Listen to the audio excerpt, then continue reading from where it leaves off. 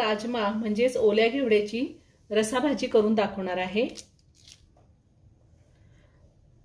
नमस्कार. दीप्स किचन मराठीमध्ये मी दीपाली आपलं मनापासून स्वागत करते. ओल्या घेवड्याची रसाभाजी करण्यासाठी मी इथे अर्धा किलो ओला घेवडा घेतला होता आणि तो असे सोलून त्याचे दाणे काढून घेतलेले. एक मोठा कांदा बारीक कट करून घेतला एक मोठा टोमॅटो बारीक कट करून घेतलेला आहे. अर्धा चमचा मोहरी अर्धा चमचा जिरे अर्धा चमचा हळद एक चमचा माझा घरगुती कांदा लसूण मसाला आहे. एक चमचा गरम मसाला घेतलेला आहे. एक चमचा बेडगी मिरची पावडर घेतली. चार ते पाच लसणाच्या पाकळ्या टेचून घेतलेल्या आहेत. चवीनुसार मीठ लागणार आहे. आणि वाटण्यासाठी मी थोडी कोथिंबीर घेतलेली आहे. अर्धा चमचा जिरे. एवढा मी ओल्या खोबऱ्याचा तुकडा घेतलाय कट करून. तुम्ही वाळलेलं खोबरं सुद्धा वापरू शकता. दहा ते बारा लसणाच्या पाकळ्या. अर्धा इंच आलं घेतले आपल्याला ह्याचं वाटण तयार करून घ्यायचं आहे आणि आपल्याला तेल लागणार आहे.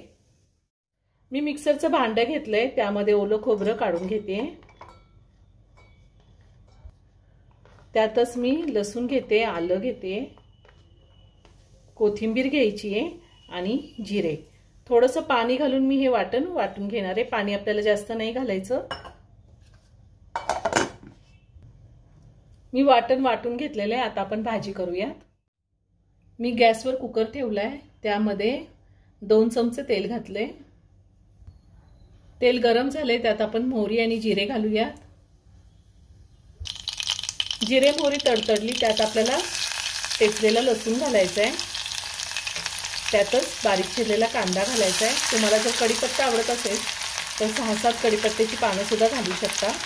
कांदा मी दोन मिनटं चांगला परतून घेणार. आहे मी ह्या आधी काळ्या घेवड्याची आमटी कशी करायची तोही व्हिडिओ अपलोड केलेला आहे. त्याची लिंक मी डिस्क्रिप्शन बॉक्समध्ये दिली आहे तुम्ही पाहू शकता.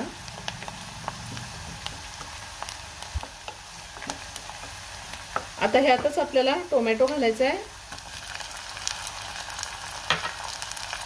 टोमॅटोसुद्धा मी एक मिनिटभर चांगला परतून घेणार आहे. टोमॅटोसुद्धा परतून झाला आहे त्यात मी हळद घालते आहे आणि आपल्याला घेवडा घालायचा आहे.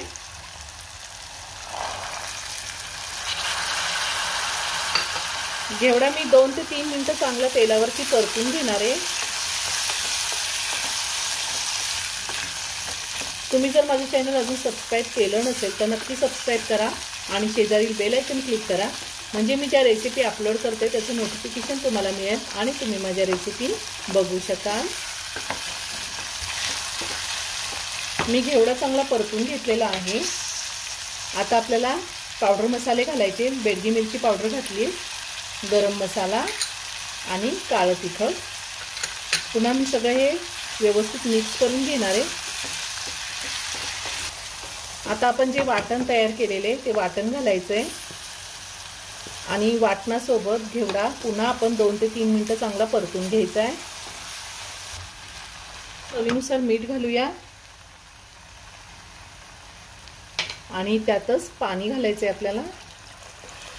तुम्हाला भाजी किती पातळ किंवा घट्ट हवी आहे त्या अंदाजे तुम्ही पाणी घालू शकता. मी दीड ग्लास पाणी घातलेलं आहे. पुन्हा सगळं व्यवस्थित मिक्स करून घेते.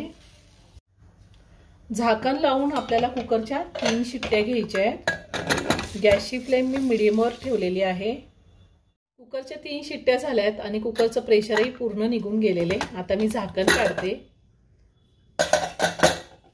आपली भाजी तयार करून झालेली आहे. खूप छान झाली भाजी.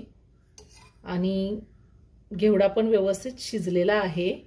वरतून थोडी कोथिंबीर घालते आणि ही भाजी एका बाऊलमध्ये काढून घेते. तुम्हाला जर अजून पातळ हवी असेल भाजी तर तुम्ही अजूनही पाणी घालू शकता. आपली ओल्या घेवड्याची रस्साभाजी तयार करून झाली आहे. खूप छान झालेली आहे. तुम्ही एकदा नक्की करून पहा. ही भाजी आपण चपाती भाकरी भात कशासोबतही खाऊ शकतो.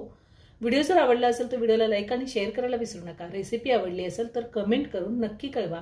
पुन्हा भेटूया अशाच एका छानशा साध्या आणि सोप्या रेसिपी बरोबर धन्यवाद.